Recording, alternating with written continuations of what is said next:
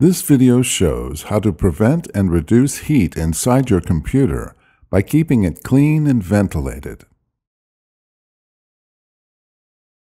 If Windows stops responding, the fans become louder, or the mouse and keyboard stop responding, the computer might be overheating. Before beginning, make sure the area around the computer is clear to avoid electrical shock. Work on a non-carpeted floor to avoid electrostatic shock. Avoid any sharp edges.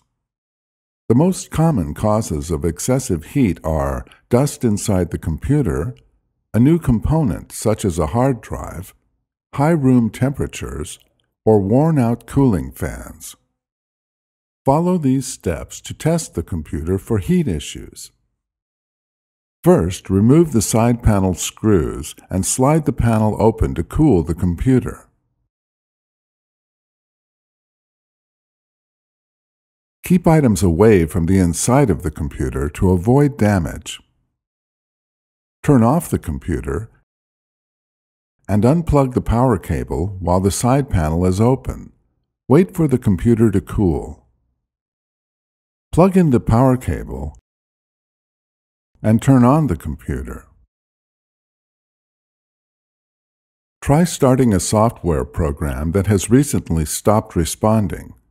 If the issue persists, continue to the next step. Verify that the computer fans are operational. With the computer powered on, look inside to find the cooling fans. If one of the fans is not moving or makes an unusual sound, Turn off the computer and replace the fan. Some components can be damaged by electrostatic discharge, or ESD.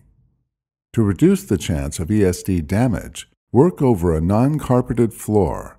Use a static dissipative work surface, such as a foam pad, and wear an ESD wrist strap connected to a grounded surface.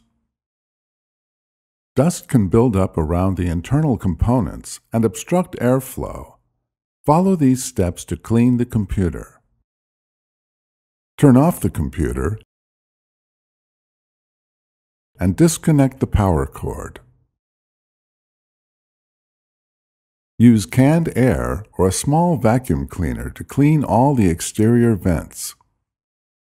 Do not use a vacuum cleaner to clean the inside of the computer.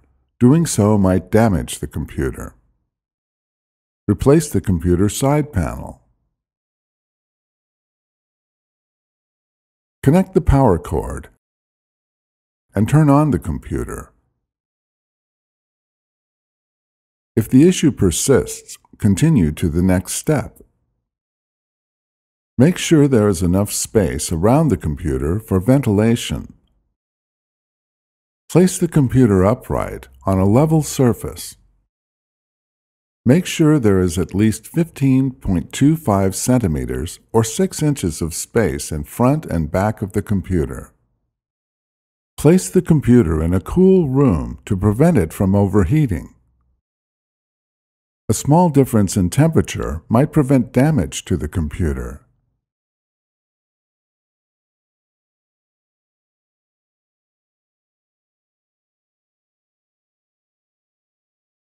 Check the HP support website to check for available BIOS updates.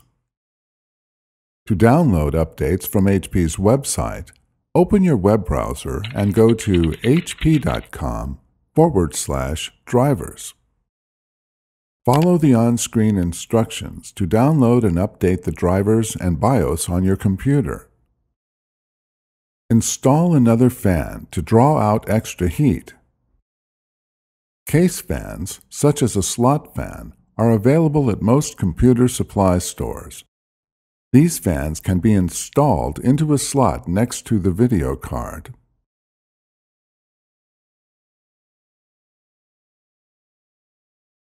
Follow the instructions included with the fan to install it.